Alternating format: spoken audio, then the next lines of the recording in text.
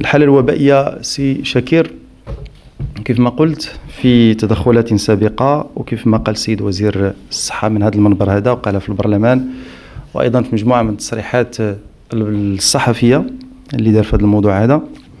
الحالة الوبائية الآن يبدو بأنه حالات الإصابات ارتفعت.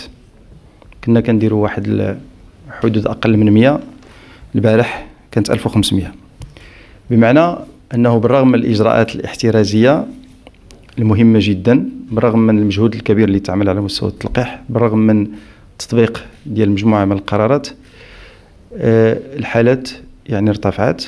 لكن لكن أعتقد ويعني علميا ثابت بأنه لو لم نقم بهذه الإجراءات اللي قمنا بها لا قدر الله لكان الوضع لكان الوضع مختلفا.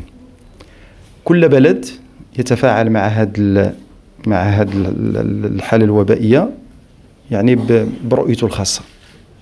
كاين دول اللي لقات راسها في تجاوزت المئات ألف مصاب في اليوم ولقات راسها يعني هذاك الرهان ديال أنه تحافظ على المكتسبات خسرته فبغات تحافظ على الأقل على الرهان المرتبط بما هو اقتصادي.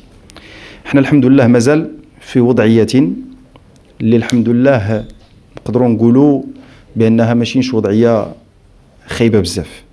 لذلك الحكومة خذات القرارات بناء على آراء ديال اللجنة العلمية على أننا نحافظوا على المكتسب اللي هو الاقتصادي اللي عندنا داخليا ونخليو هاد الناس هادو تكون عندهم واحد الحياة اقتصادية ويساهموا في الرواج الاقتصادي وما نمشيوش القرارات اللي اليوم كتطبقها بعض الدول في الجوار الأوروبي منها الحجر الشامل ومنها الإغلاق الكامل.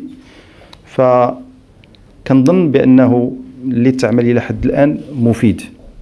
جنب بلادنا الانتكاسة اللي لا قدر الله كانت يمكن تمشي ل تمشي ل يعني ل الأمور آه، ماشي فقط يكون تأثير فقط على الجانب الاقتصادي ولكن أيضا على الأرواح. وهذا هو المحرك الأساس ديال أي إجراء تقوم به الحكومة. هو في المرتبة الأولى الحماية على الأرواح ديال المواطنين ثم بعد ذلك في مستوى ثاني كيجي الحفاظ على على على الاقتصاد.